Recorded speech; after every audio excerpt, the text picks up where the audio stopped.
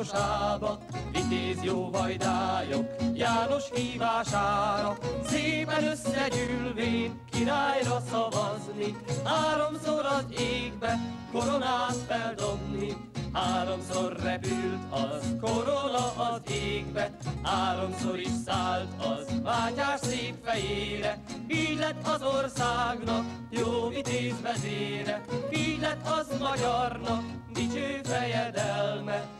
Milyen király volt ő, íme bizonysága, igaz tetteinek szép históriája.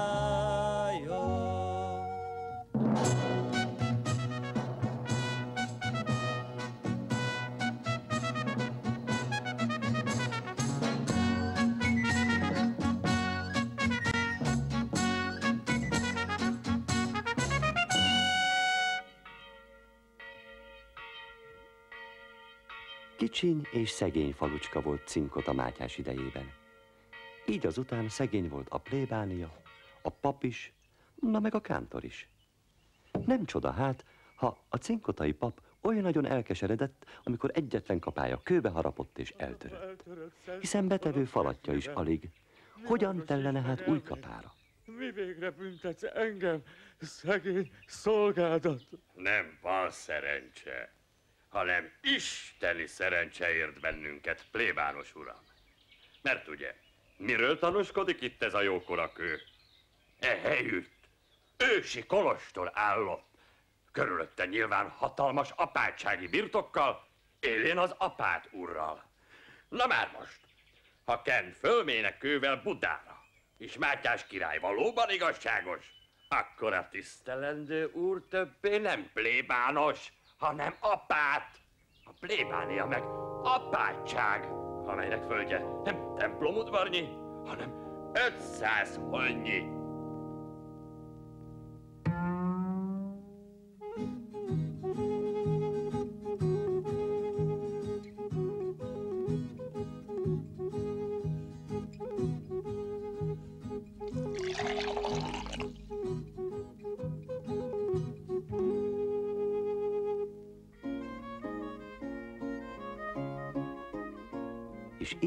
Már mondja is a mi papunk Mátyásnak, hogy mit kíván ekő alapján magának és cinkodának.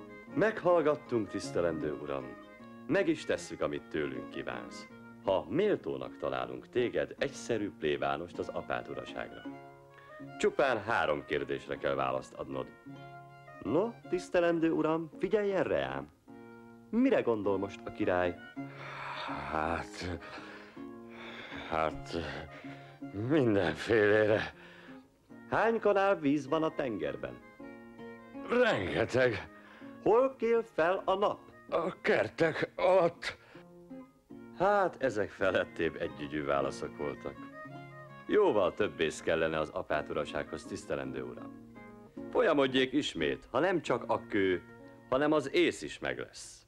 Azt ugye mondanom sem kell, hogy a kántor olyannyira biztos volt az apáturaságban, hogy már is hitelbe itt a borát egy budai fogadó ivójában, nagy elszántsággal bizonygatván, hogy itt is felettébb kicsi a borositce.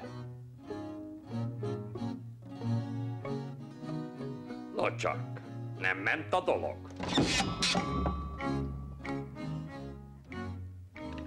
Fizessen még egy ilyen kicsinyicével, plébános uram. Egyébként rá nem jövök, mit tegyünk ilyen szorult helyzetben. Ruhát kéne cserélnünk, plébános uram. Mert különben sohasem lészen cinkotán apátság.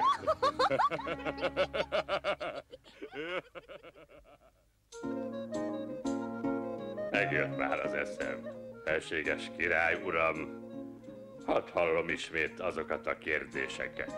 Mire gondol most a király? A felséges úr nyilván azt gondolja, hogy megint a cinkotai plébános áll előtte. Pedig annak csak a legkisebb szolgája, a kántor tesz előtte udvarlást állöltözetben. De azért bizonyára nem haragszik meg Mátyás király, ki maga is oly igen sokat jár árruhával az emberek között. Hát azt meg tudod én mondani, te álplébános, hogy hány kanál víz van a tengerben? Az ember kezével mérhetetlenül sok. A jó Isten kanalával csak egy. Na és Hol kél fel a nap? Te nagy okos. Néked bolond Budán, nékem meg Cinkotán. Nem csak okos vagy, Kántor, hanem becsületes is. Éppen az ilyen ember való apátnak. Ne tegye ezt vélem, nagy jó uram. Csak a papunk nevében udvaroltam fejedelmi színe előtt. Legyen ő az apát. Buta embert még egy plébánia is nehezen visel. Hát még egy apátság. Na jó, ne légyen belőled főpap, de akkor hadd halljuk, mit kívánsz jutalmul. Igen nagyot kérnék felségettől. Mert hogy én majd mindig szomjazom, a vizet viszont nem igen állhatom, antul inkább a jóféle bort. Csak hát igen kicsi mi felénk az itce. Rendelni el felséget, hogy legalább nálunk cinkotán két akkora legyen az iccés kupa, mint másunk. Úgy legyen. Még ma írás küldünk az Itze ügyében a cinkotai fogadóshoz.